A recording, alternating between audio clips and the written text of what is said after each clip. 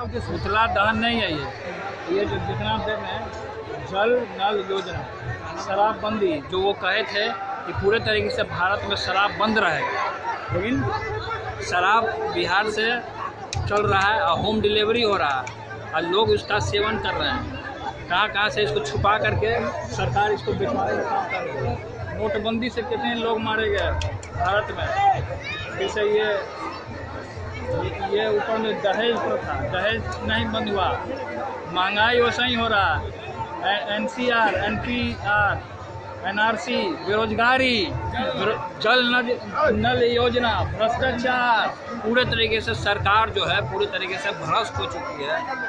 अभी पचपन घोटाला हमने उजागर करने का काम किया, जो जनता के बीच में। और आप लोग को तमाम पूरी बिहार की जनता के बीच में हमने रखने का काम किया है। उसी को हम यहाँ पे आज नाश करने जा रहे हैं।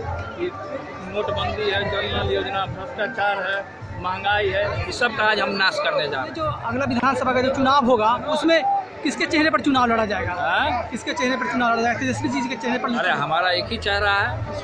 तेजस्वी है उसको मुख्यमंत्री बनाना है। हमने संकल्प लिया है और पूरी बिहार की जनता ने संकल्प लेने का काम किया है। और उमेश ने भी लिया